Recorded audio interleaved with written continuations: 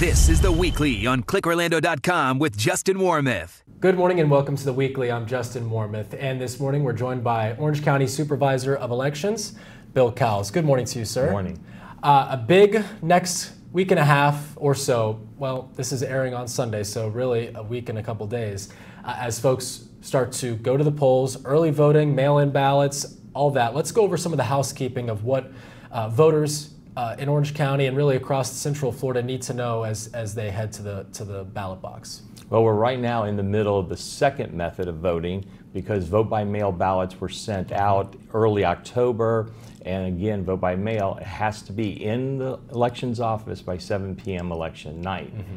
Early voting is going on, and with early voting in Orange County and several of the counties, we're going all the way up to the Sunday before the election. Some other counties are on the Saturday, but you still have time to go to an early voting site. And the beauty of that is you can go to any site in the county and vote. And then finally, November 8th, we kick mm-hmm. off the big one. Election day, you have to go to your polling place. All right, so mail in ballots, let's start there. Um, so if someone requested one, they have one in their possession, when is the absolute final day to put that into the mail so it can get to the supervisor of elections office and be counted? The post office has told us that give them at least five days, okay. six days before the election, if you're going to take it and put it into the mail system, because in Florida, a postmark does not count. It physically has to be in the elections office. So the best thing to do is all of the uh, early voting sites mm-hmm. in Orange County and many of the counties have the secure ballot intake stations where you can drop off your ballot to an election official and know that it's going to be turned in on time and processed. So if you want to mail it in, really, you should do it tomorrow. Monday, Tuesday, maybe at the latest, but really get it done earlier because let's talk about uh, Florida law. You, if, if there is an issue, maybe with a signature or something else, they, that can then be fixed in time, correct? Correct. The uh, legislature put in the cure affidavit process. So mm-hmm. if your signature doesn't match based on the comparison to the signature on record, mm-hmm. or, and it's hard to believe, people will open their ballot, mark their ballot, put it in the envelope, even put their return address on the front side, and they never sign the envelope. Mm. So the cure process allows you to do an affidavit that then updates your record, which will allow your ballot to be counted. The good news is you have until 5 p.m. the Thursday after the election mm. to get the affidavit in in order for your ballot to count. Got it. Okay, so uh, vote. Uh, what's has anything really changed? So if someone, you know, I, I know registered Republicans, registered Democrats voted in the primary, uh, but we have a, a new crop of voters who have not cast a ballot since 2020 in the state of Florida, what has changed for their process, whether it is in person voting? Has anything changed that you believe they need to know about before they go and either vote by mail, early vote, or go on November 8th? Well, last night was the deadline to request a ballot to be mailed to you. Okay. So at this point, if you need a ballot, a vote by mail ballot, you'll have to go to the elections office and pick one up. But if you're going to the elections office, why don't you just go ahead and early vote while you're sure. there and it's done and you know your ballot's been cast. So again, the vote by mail, if you have one, you can take it to an early voting mm-hmm. site and have it canceled so you can vote in person. Put it in the mail. But the key thing is, if you're expecting to have gotten one, the legislature changed it to where a request is only good for one election cycle. And so you may have been voting previously, mm-hmm. but that request may have expired. So from that standpoint, now go vote in person. Okay. Now, if someone is dropping off mail-in ballots, how many can they drop off? Let's go over some of the numbers because I know that that is um, a change. A change a little bit. So let's go over that. So first, you can turn in your own. Okay. You can bring two other voters' ballots back then you can also bring back your family members, and the law defines who family members are. So basically, it's yours plus two not re- associated or related to you, okay. and then your family members. And so we have to monitor that right. uh, at each of the sites where you can drop off a ballot. Now it's manned, right? Was that previously was that already a, a thing in Orange County? Well, it's something you always wanted to have Correct, have right. assistance on Yeah, that. yeah, yeah. But yes, the legislature requires that they be manned, or you got to have cameras. And like our main building, we have a camera, we have a security guard, and we have somebody sitting outside, uh, even into late hours uh, after early voting has ended. Uh, the legislature decided that if they were found to be unstaffed, Mm-hmm. it's a twenty-five thousand dollar fine on the supervisor of elections, and it's personal. and that's something that you're not trying to pay. I don't want that. So Has I'm going to make sure I got three people. So if one has to go to the bathroom Right. or one wants to go eat, we still got people there. Listen, in this day and age, I know that you, I don't have to tell you that there are people that are not associated with the state of Florida or elections that are looking for things, looking for issues to point to. Yeah, the, one of the things that came out of the legislative session is the more transparency. Mm-hmm. So now our office has observers who are down observing our signature verification process. We have observers who are down watching the ballot duplication Mm-hmm. uh, process. Uh, they have public coming to our canvassing board meetings. So the transparency, poll watchers at the polling place and early voting. So there's a lot more scrutiny being put onto us here in Florida that we've not had before. But transparency is good. Uh, disinformation and, and conspiracy theories are not. Uh, just to refresh our viewers about what happened in 2020 in the state of Florida, it was a pretty flawless execution, would you say? Oh, we were praised across the Right. country because we, here we are, the third largest state, Mm-hmm. once considered a swing state, and we had uh, Trump won Florida by 3%, which is a big victory, as in how the elections have been going in Florida. And so we were being praised for all the good things we did.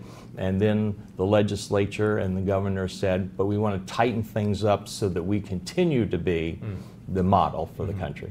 Now, another important thing I want to point out um, is that each state uh, has its own election rules.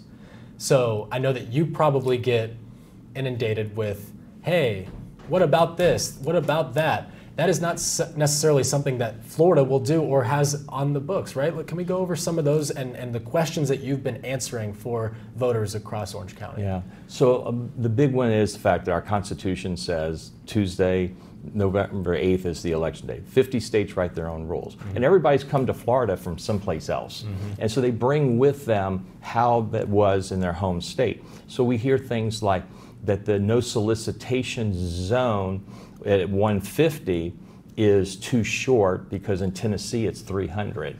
But in Pennsylvania, it's only 10 feet from the front door. And so we get these complaints about the solicitation type thing. Um, vote by mail, as we talked about, the deadline in Florida is 7 p.m. In other states, they can take them up to X amount of days after the election if they were postmarked. so we don't yeah. have that. Uh, other states uh, allow the, the vote by mails to be counted after the polls close. Uh, and, and here in Florida, uh, we're one of those, we're a now society. We want our results now. It's so important you point that out because uh, that's that's that was really the the issue and, and the delay with the 2020 presidential election is that all of the vote by mail ballots, really in a lot of other states, are counted after the day of.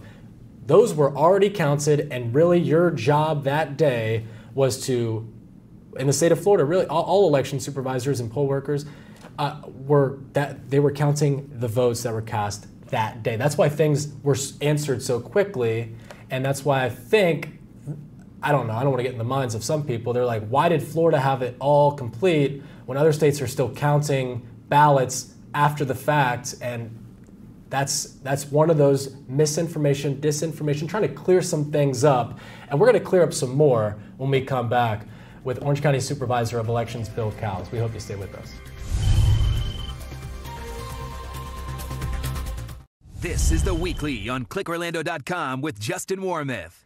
Welcome back to the weekly. I'm Justin Warmoth, and we're joined by Orange County Supervisor of Elections, Bill Cowles, as we continue to bring you uh, key information on the upcoming midterm election. And, and we were just talking about why Florida gets these results in so quickly, as opposed to some other states that, that take it takes some time to count those mail-in ballots. Why is that? Well, the way we get the results is Florida allows us to begin processing the vote by mails as they come in mm-hmm. as much as 30 days prior to the election. So when we get to election day, we're just waiting for those last vote by mails to come through the front mm-hmm. door. The early voting ends on Sunday night, so we have 100% of those. Mm-hmm. So when we go to push out the results on election night, 100% of early voting, and usually about 90 to 95% of the vote by mails are out there. And as soon as you see those numbers, you're seeing a pattern, and now you're waiting for the polling places to modem their results in. Great point, because uh, I know a lot of people, when they watch on, on Tuesday night, next Tuesday night, uh, and they see the initial results start to come in, it's, it's easy to kind of have a knee jerk reaction here, but they have to realize which votes are going out first. And, and the precincts reporting is so important, but also knowing which votes were already cast and already pushed out, and those were the early voting, and those were the, the vote by mail. And then it gets to the day of. Great point. Um, anything else you want to add on that? Just that it reflects the methods of voting now. You know, yeah. Florida, we have flipped how voters vote, mm-hmm. and so vote by mail is now number one. Early voting is number two, and going to the polling place is number 3 mm-hmm. So you're getting the biggest chunk of the results mm-hmm. early. Got it.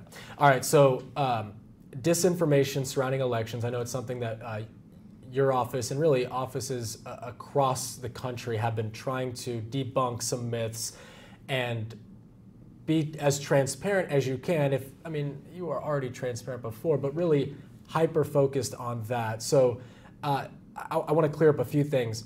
Um, if you have a if you leave a race blank, that does not mean that your ballot will not be counted for the races you voted for. Absolutely right. You, the voter, gets to decide what you want to vote on. And so it's called an undervote mm-hmm. in that contest. And every election, there are undervotes and there are overvotes where people voted for more than the one choice. Mm-hmm. And those ballots still get counted uh, even if you don't fill everything in. I'm going to get to some more, but I, I, feel like this is a good time to, to bring up that the in Orange County, uh, there were a, a few uh, charter amendments that, that folks were voting on. Um, transportation tax, that was one. Uh, rent stabilization, though, uh, some, some big information coming down for voters if they haven't already cast their ballots or if they have already cast their ballots. Let's go over that and, and what was uh, just decided. Okay, so uh, on Thursday night uh, before this show, uh, the Fifth District Court of Appeals said that the state rent stabilization should not go forward pushed it back to the local court to decide how to handle the results of what has already been done. Bottom line is we will be putting notices out to voters who have not voted in the voting booth on early voting or on election day, just saying that that question on rent stabilization has been removed unless the county appeals this, mm. then it could keep it on there. So there's but the ballots so, are already printed, right? But ballots are printed, yeah. and so uh, we'll see what comes out. I think what will come out is telling us, the elections office, not to certify mm. the results but it does not do anything to the ballots that have mm-hmm. already been turned in and have already been processed. Good to hear. All right. Um, good to hear about the that part of it, not necessarily what you know folks at home have their own um, you know feeling on that right. on that piece of legislation. But uh, let's go to uh, this one. If you wear campaign merchandise, T-shirt, hat, whatever, you'll be turned away. Is that a is that a myth? Not true in Florida. Mm-hmm. Florida, you the voter can wear campaign materials, buttons, stickers when you go into the polling place, early voting or election day. The poll workers have to be nonpartisan. Mm-hmm. Any poll watchers there to observe must be nonpartisan, uh, and so they don't. But voters can go in with all campaign buttons, stickers, and all. It's a polarizing time, uh, not just in political environment, obviously, but but really around elections. It, it, hasn't, I don't know if it's ever been so polarizing um, and contentious. And uh, I'm, I'm wondering, I'm curious if it was difficult to find poll workers based on just what the, what's been said and some of the actions across the country and some other states. Was it difficult to find people to man the polls? Yeah, so far in Florida, we have not seen stuff that we have heard from other states. Right, right. Uh, and again, I think it comes down to uh, the political environment by county. Mm. Uh, here in Orange, we haven't seen it. And one of the things that has been very helpful to us is we have an adopt a precinct program where groups adopt the polling place as poll workers, and uh, that has brought us a lot of poll workers. But we've not seen the contentious nature at this point. Security will be on hand, though, um, at, as it always is, right? Well, we have a poll deputy Okay. who is outside, but he's not a sworn law enforcement officer who is observing everything outside the polling place, the poll clerk inside, and if there is an issue, then they know how to contact us, and then we'll contact the necessary authorities for any in- issues going on outside. So, so no, no issues trying to find polling places, no issues trying to find poll workers in Orange County. Yeah, line. we're, we're good. Uh, after the hurricane, Yeah, we've only had to factor. Mm. change one polling place uh, because it's still wet uh, on that. But that voters have already been mailed a personal notice to tell them about the change. How have you, and, and your office in particular, how have you been trying to um, fight these conspiracy theories about how elections are run? Well, we've tried to be good with our promotion of our information, like the sample ballots had information about the voting, uh, promoting it through the website, through me being a speaker at community events. Uh, all- and then actually, our poll workers become our best am- ambassadors, Yeah. going out and telling people about how the process works. And so, again, is that answering questions and trying to explain how Florida does it versus the rest of the country. That's, I I mean, I want to, that's so important to hammer on. And if folks are just now joining us, not every state is run the same way. In fact, it's, it, it's run pretty differently. Uh, some states, you know, especially with the counting of the ballots, but, but really, we have so many people moving here every day. And I, I think that was a, a great point that you made that they have, this might be their first time voting in the state of Florida. Uh, and, and so just to understand Florida's laws uh, is, is critical. Uh, it's, that's part of that's part of the research that you should do, not only on the races, the candidates, and what have you, but how elections are run in the state of Florida. Absolutely. Yeah. And uh, we work hard to educate them with, with our communication, and hopefully the- our poll workers help them through the process. Okay. Uh, as an Orange County voter, this is a question for me and me, me alone. Do we have any information on perhaps a new logo on the sticker? Uh, I like the sticker. I do like the sticker. I'm just, you know, a variety, just to switch it up a little bit. Uh, We'll probably do that in 2024. Ooh, something to look forward so we're staying with the I did vote, and it has Yeah. all the icons of the area in it. But uh, we'll probably be uh, changing it up the next time. I, uh, I threw that. That was just some. I was like, oh, uh, the sticker's great. Not complaining about the sticker. Just curious about that. But Bill Cowles, we appreciate it. Um, and for more information on the topics we discussed, some of the key dates that we discussed as we get closer to the midterm election, just head to clickorlando.com slash weekly. I'm Justin Warmoth for Bill Cowles. We hope you have a great Sunday.